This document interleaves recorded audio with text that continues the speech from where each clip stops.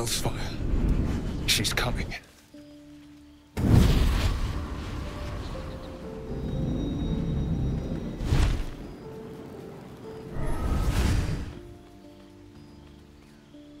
Wyll, you've been naughty. And you know what happens when you're naughty. Gods damn it. Anyone but her.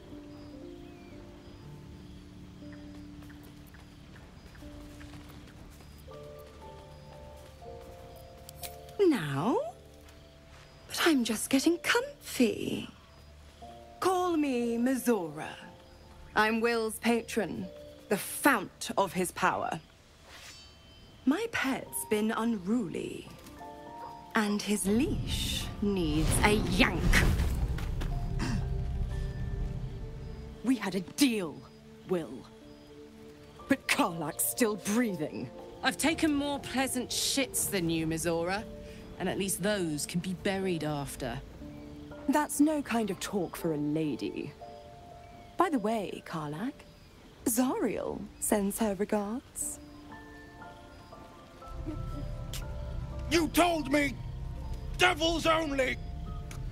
She's a tiefling, not a monster! How precious. The little pupster's found his bark. Clause G, Section 9. Target shall be limited to the infernal, the demonic, the heartless, and the soulless. Karlach meets the criteria by virtue of having no heart.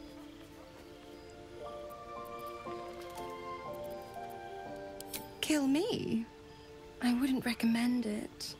I die, and Wyll turns to a Lemure and gets sucked right down to the hells. Which reminds me.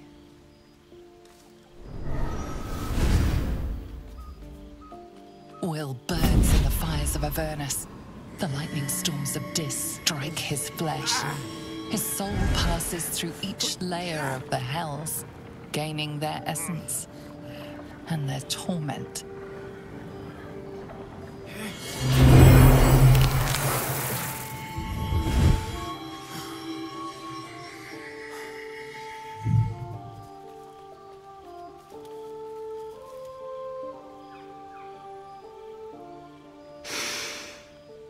That's better. What the hells have you done? A promise broken, a price paid. You know the terms. Get used to the new form, pet. There's no going back. Some magic even I can't undo. Now, let's see how the frontiers fare without their precious blade. Karlach, keep an eye on him, would you? I'll be keeping mine on you. Oh, and Wyll, don't forget, our pact still stands. Ta-ta.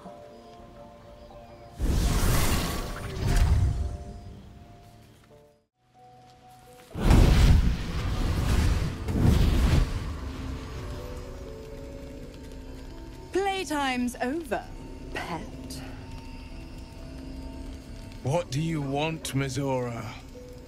Drop the attitude and perk up your ears. You've got a new mission. Absolute's cult has gone and grabbed one of Zariel's assets. A devil. And a powerful one at that. They're locked up in the cult's fortress, Moonrise Towers. And you're getting him out.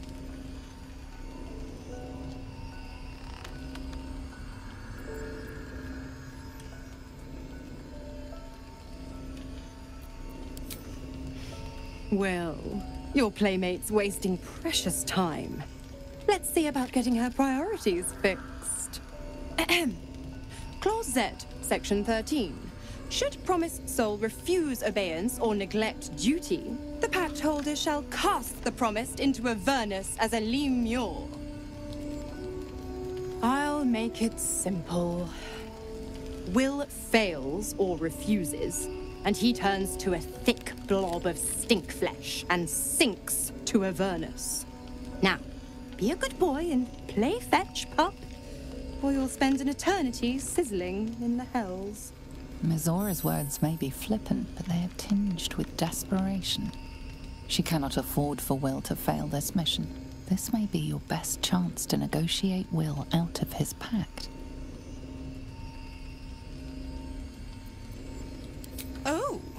And what condition is that? Your mind links with Wyll's, drawn in by his increasing panic. What are you doing?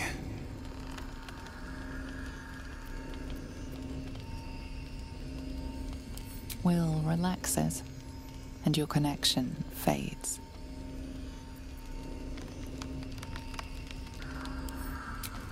Interesting. Now, why should I go letting my favorite pet off his leash?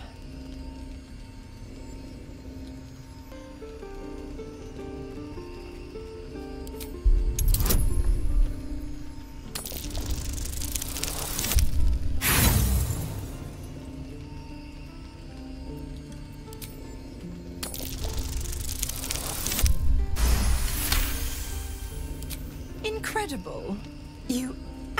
Think you hold the winning hand? Fine. I'll play your game. But I amend the pact once the mission's done, not before. Clause F, Section 9. Soulbinder shall bestow reward or favor only upon soul bearer's fulfillment of related obligation. Now, to Moonrise, pet. And do mind the shadows. They've been especially hungry.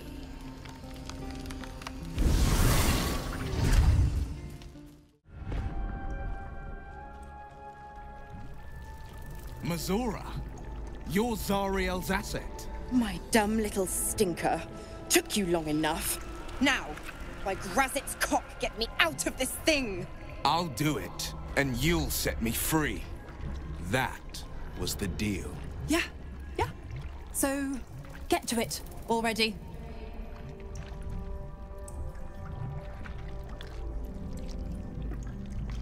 The controls are open to your tadpole's command, to your authority.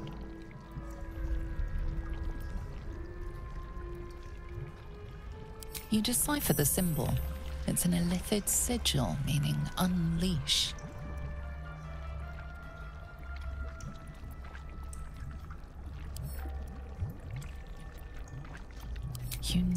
Symbol from the Mind Flayer ship. It means annihilate.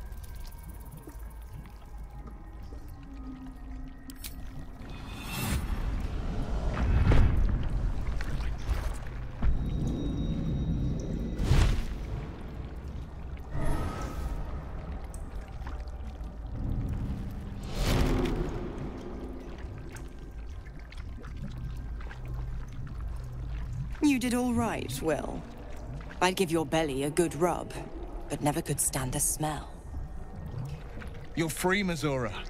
I held up my end. Now you hold up yours. Sever the pact. Clause Z, Section 13. If the Soulbinder consents to separation, she will release the Soul Bearer from all obligation within six months. Six months? Gods damn you! Ignorant thing. It's always the terms and conditions that get you.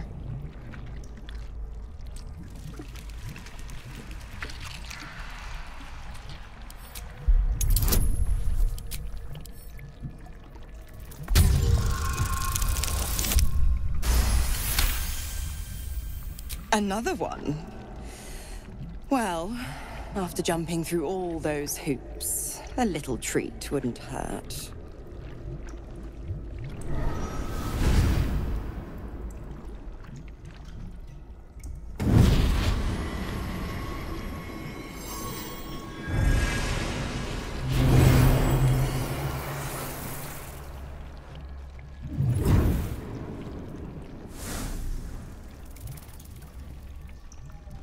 All that power. And to think you want to throw it away. Now, you've got business in the towers to take care of. Don't you fret. I'll find you soon enough. You're going to need me. Count on it. Oh, and go ahead. Tell your chums how we met. It's a real cracker of a tale. Ta-ta.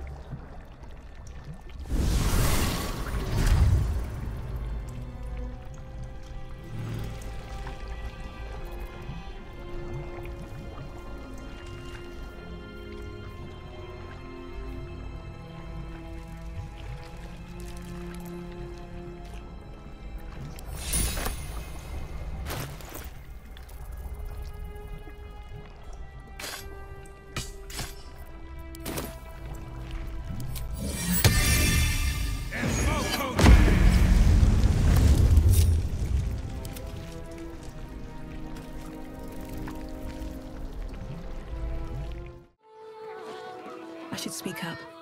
If it isn't little Wyll, straight to your handler. And I didn't even have to whistle. Mizora, I've had enough. You owe your life to me. Time to end the pact. Poor thing. You've had a tough go. And you don't know the half of it. You see, Gortash has had your father relocated. I'm just an impartial observer.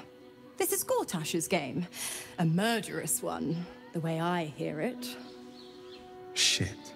Your dad's good as dead, pup. And to think, there's no way to save him. Or is there? You know something. I know enough. I'll be in your camp if you want to work something out.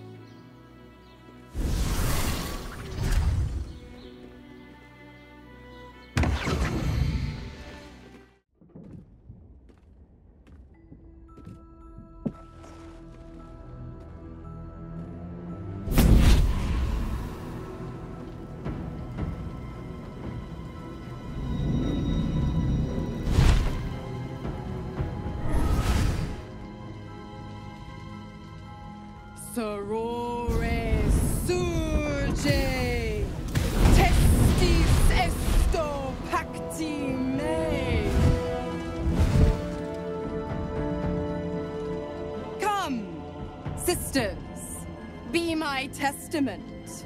Notum sit in Baator. Notum sit in Baator. You've heard of such devils. Sisters of justice. Adjudicators of diabolical contracts and bargains. Holy hells.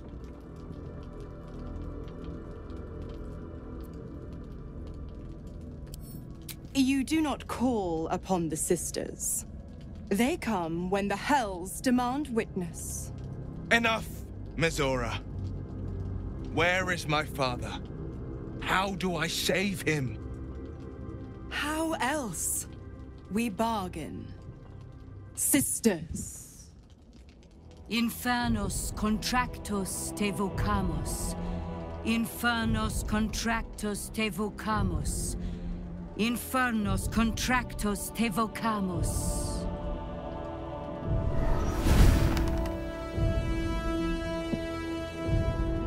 Your contract, Wyll. Signed in blood, forged in fire, bound in bone, but not unbreakable.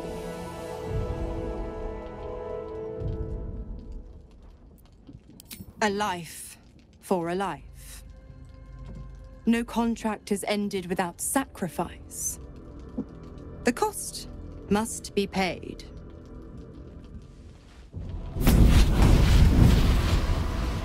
Wyll Ravengard, a choice is before you. Option one. I show you the way to your father. I guarantee him no harm except that from you and your allies. And you pledge your soul to me and the Archdevil Zariel in a pact eternal. Option two. I break your pact, and you are freed from your duty. Your father dies by his enemy's hand, and Baldur's Gate loses its greatest champion. Name your sacrifice. Bloody Zariel! I won't let her take Wyll. Silence, Karlach. Mizora! You asshole! Choose.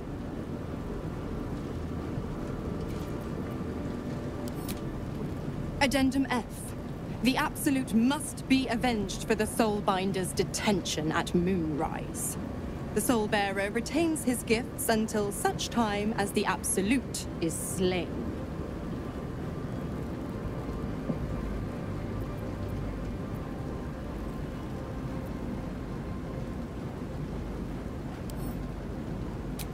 Damned wretch! Father. Do it. Break the pact.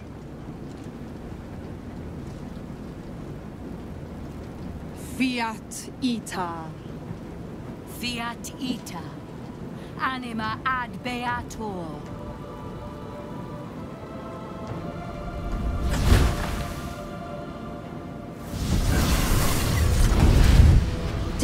You had it in you. Seems my boy's all grown up. And don't go fussing about your father. You made your choice. You knew the terms. You know what? I think I'll stick around. Not for the greater good, you understand. Just for the entertainment. Little Wyll's all grown up. I can't wait to see what trouble he gets into.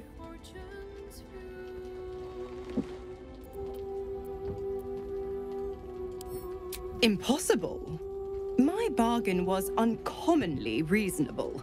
A single soul for the return of Baldur's Gate's most beloved Duke. A real bargain, I should think. I never thought the legendary Blade of Frontiers would surrender his father for freedom. Not very valorous, if you ask me. But what does a mean old devil like me know about heroes?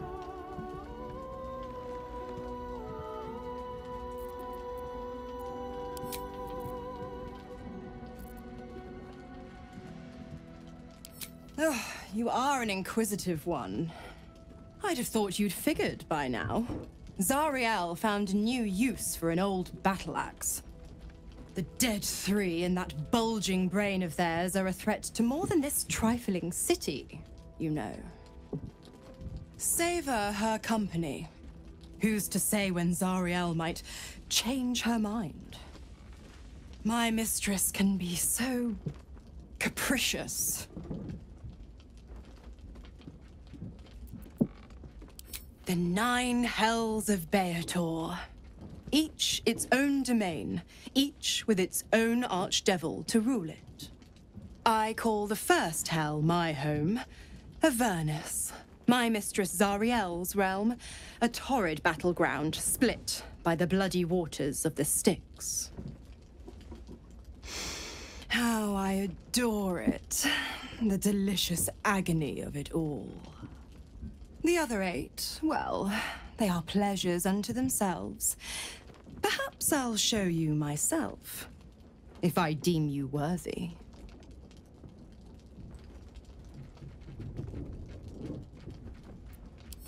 Correct. I didn't. If you must know, I was scouting the cultists on behalf of Zariel. But those cursed shadows were thick enough to fell even a half-fiend. I woke in that damned pod. It kept my body sealed and my most powerful magic silenced. But a brave, kind, benevolent soul set me free. Gallantry isn't dead after all.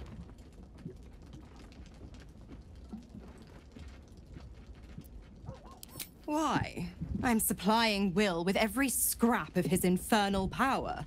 I've paid my dues many times over. I tell you what, when the time comes to squish that big baddie of a brain, I'll lend you a hand. Lady Mizora told me everything. How you slaughtered your own father. How you crave his power. I thought you were going to save him. But you abused his current state to get rid of him. Something on your mind? You know exactly what's on my mind.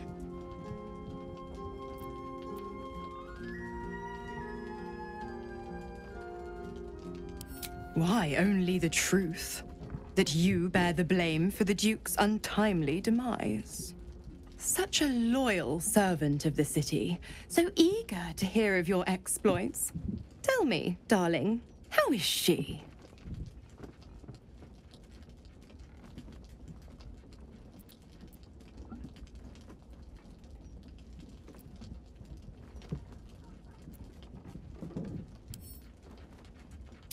What a relief. It would be a shame if she'd struck down the one and only blade. Alas, she misses the fallen Duke. Someone will need to step up in his absence. A man with the spirit of a dragon. His only son, perhaps.